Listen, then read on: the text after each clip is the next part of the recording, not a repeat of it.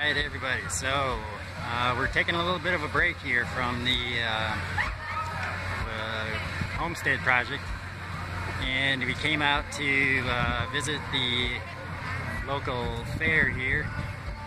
Um, we just finished up uh, watching a band and made our way on up to the midway here. Uh, you can see all the bright neon going and rides and it's winding down a little bit. It's a little bit later at night here and uh, things are starting to slow down a little bit.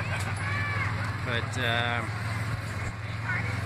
they're expecting a little bit bigger crowd tomorrow, I guess.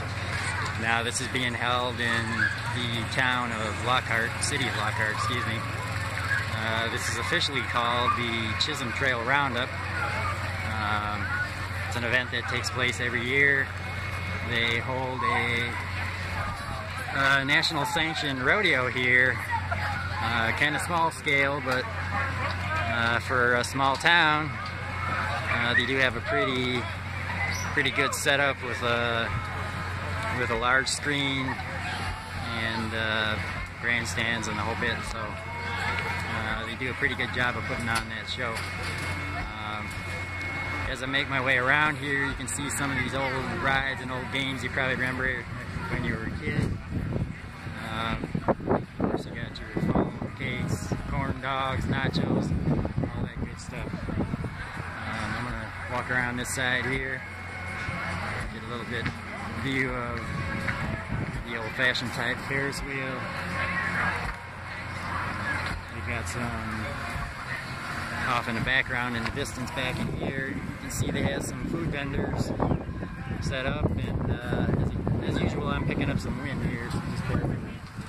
And we got the monster slide and of course the strawberry ride. I think I had a bad experience on one of those when I was a kid. Anyway, uh, so this uh, is held every year in the uh, Lockhart City Park. So if you ever get down to this neck of the woods here in south central Texas,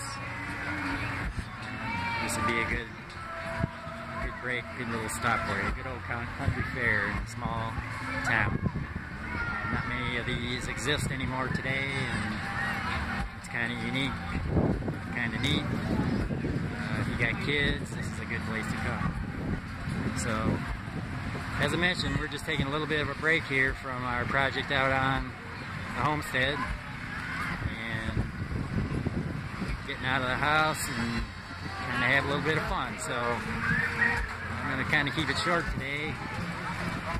We'll uh, check back with you next time around. Until then, um, remember we could always use and like your support. Um, also, if you uh, feel so inclined, please subscribe. Keep an eye on what we're doing, what's going on with the homestead. Uh, tonight is just to give you a little bit a break from the construction.